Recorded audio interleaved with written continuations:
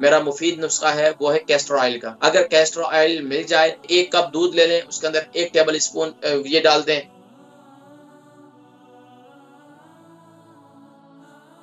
वालेकुम सलाम वरहमतुल्लाहि वबरकातुहू। जी नाम? नाम है मिस्टर मोहम्मद इक, मोहम्मद परवेज इकबाल है। परवेज इकबाल साहब की उम्र उन्होंने उम्र 64 वज़न वज़न हैगा 50 50 केजी है जी कहाँ से कॉल कर रहे हैं एडमबरा से जी फरमाइए हाँ जी इन्होंने हैगी अपने जबान च राशा कहते हैं पार्किंसन आ तो ओदा कोई नुस्खा पूछना सीगा अच्छा राशा हाथ में भी है सिर्फ़ जबान पर है जी नहीं सारा जिसम ही है सारा जिसम ही है बाजू आ टांगे आ ज- सारा जिसम हिलता है। कितना कित, कितना अरसा हो गया?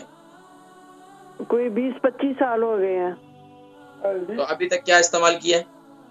वो तो डॉक्टर जो दवा देते हैं वो उन वो, वो ही इस्तेमाल करते हैं। शुगर इनको शुगर है? नहीं और कुछ नहीं है सिर्फ़ पार्किंसन ही है इस वक्त।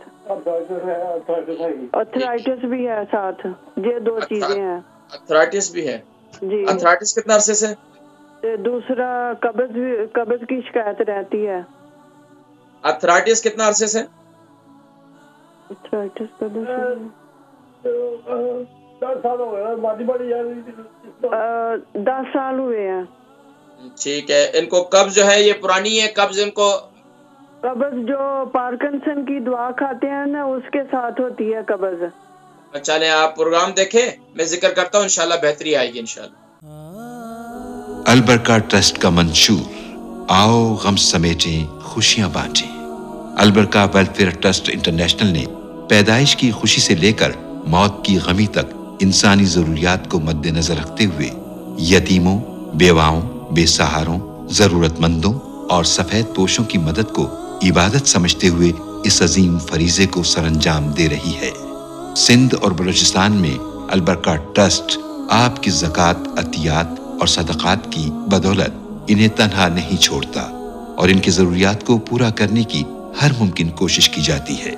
महाना door to door food packs की फराहमी के साथ साथ रमज़ानुल मुबारक में हज़ारों मुस्तहिकीन के लिए स्पेशल फ़ूड पैक्स सहर व अफ्तार का एहतमाम किया जाता है। आप भी अपनी जक़ात अलबरका ट्रस्ट को दीजिए। राबता कीजिए zero one two one double six double seven three double nine Mohammad Parvez Iqbal साहब इनकी उम्र 64 है और 50 के इनका वज़न है। अम, उनके उनको जो है जबान पर और पूरे जिस्म पर उनके राशा है। और राशा की वजह से ज़ाहिर बात है जिसम कांपता है और कप कपी तारी रहती है। बात करना भी ज़रा मुश्किल होता है। इनको तकरीबन 10 साल से इनको अर्थराइटिस भी है उनको कब्ज़ की भी शिकायत रहती है। तो देखिए सबसे पहले हमें कब्ज़ पर तवज्जो देनी चाहिए। इनको, इनके जो जो भी खाते हैं तो उसका अखराज भी ज़रूरी है। हर दूसरे दिन को हाजत करना, हाजत होना ज़रूरी है। उसके लिए सबसे बेहतरीन मेरा मुफीद नुस्खा है, वो है कैस्टर ऑयल का।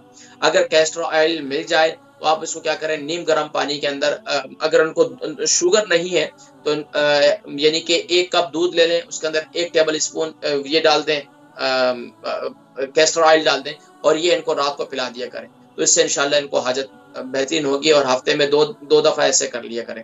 अच्छा दूसरा काम अगर ये ना मिले तो कब्ज के लिए दूसरा इलाज ये कि सना मक्की ले लें। सना मक्की मिल जाती है, कोई मक्का शरीफ जाने वाला हो, उम्र शरीफ पे जाने वाला हो तो कुबा शरीफ से भी मिल जाती है और अहद शरीफ से भी वहाँ खवातीन बेचती हैं, उनसे मिल जाती है। तो वो सना मक्की वहाँ से ले आए, यहाँ मिलती है वो लेकिन बहुत पुरानी होती है, उसकी तासीर इतनी ज़्यादा नहीं होती। तो वहाँ ताज़ी मिलती है ज़रा अच्छी होती है। तो वो ले लें और वो जो है, पानी के अंदर डालकर उसको कावा बना लें। कावा रात को पीकर सो जाए और सुबह जो है उठकर पानी पी लें और सुबह उठकर जो है, माशाल्लाह, आपको खुद ब खुद हाजत हो जाएगी। और इसके अलावा इनके जिसम पर राशा है तो उससे मसाज करें। देखें, जिनको फालिज हो चुका है, जिनके जिसम पर राशा है और इसके अलावा जिसम में दर्द है, मैं ज़िक्र नहीं कर सका, ये जो मैंने आज तेल का ज़िक्र किया, हर्बल ऑयल का, जिस्मानी दर्दों के लिए, जिस्मानी राशा के लिए, फालिज के लिए, ये तेल बहुत मुफीद है। आप उसके क्या करें कि तेज पत्ते ले लें, तकरीबन ग्यारह से पंद्रह पत्ते ले लें और तकरीबन सौ ग्राम आप ले लें, ये ऑयल ले लें मस्टर्ड ऑयल ले लें और इसी तरीके आधा पाव लहसुन ले लें।